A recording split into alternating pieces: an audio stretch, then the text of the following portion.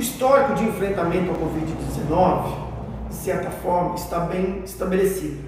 Além dos cuidados individuais, o que se pode fazer que evidentemente tem é, efetividade é a vacinação.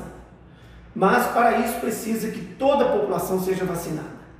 E infelizmente, uma grande parcela da população não vai ter acesso a esta vacinação a curto prazo. Mas uma segunda preocupação que eu tenho é quanto às outras doenças também que podem ter alta mortalidade porque estão se agravando ao longo desse período. Doenças, por exemplo, como câncer de mama, que o programa de rastreio mamográfico foi interrompido. E outras doenças, sobretudo também as doenças mentais. O Hospital Galba Veloso, por exemplo, em Belo Horizonte, foi fechado. No momento de uma pandemia como essa, onde nós estamos convivendo com um grande número de pessoas com algum transtorno mental.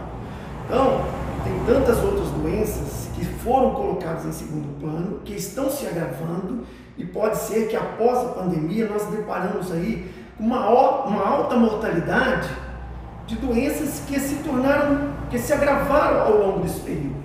Então, por isso eu acho que nós temos sim que cuidar do enfrentamento ao Covid-19, mas também por outro lado, é, tratar oportunamente e principalmente manter os programas de prevenção de outras doenças.